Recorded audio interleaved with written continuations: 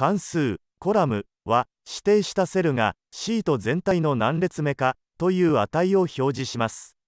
イコール COLUMN カッコカッコ閉じると入力すると関数を入力したセル自身の列の値が表示されます。